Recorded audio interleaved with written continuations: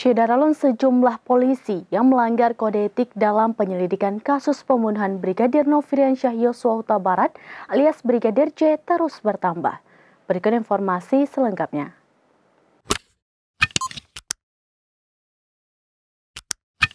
Syedaralun, kini sejumlah polisi yang melanggar kode etik dalam penyidikan kasus pembunuhan Brigadir Nofriansyah Yosua Huta Barat alias Brigadir J terus bertambah.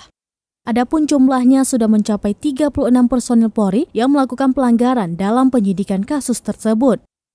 Kadif Humas Polri Irjen Pol Dedi Prasetyo saat dihubungi wartawan pada Minggu 14 Agustus 2022 mengungkapkan dari total 36 orang itu sebanyak 16 polisi yang ditempatkan di tempat khusus atau patsus akibat pelanggaran tersebut.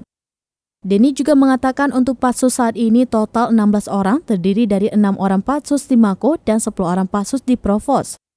Sebelumnya, anggota Polri yang diduga melanggar etik dalam penanganan kasus pembunuhan terhadap Brigadir Nofriansyah Yosua Huta Barat alias Brigadir J kembali bertambah. Kali ini giliran empat perwira menengah atau pamen di Polda Metro Jaya yang ditahan di Provos Mabes Polri. Kadif Humas Polri Irjen Dedi Prasetyo menyampaikan bahwa keempat pamen tersebut ditahan berdasarkan gelar perkara yang dilakukan oleh tim khusus atau tim sus. Mereka diduga telah melanggar kode etik dalam penanganan kasus tersebut.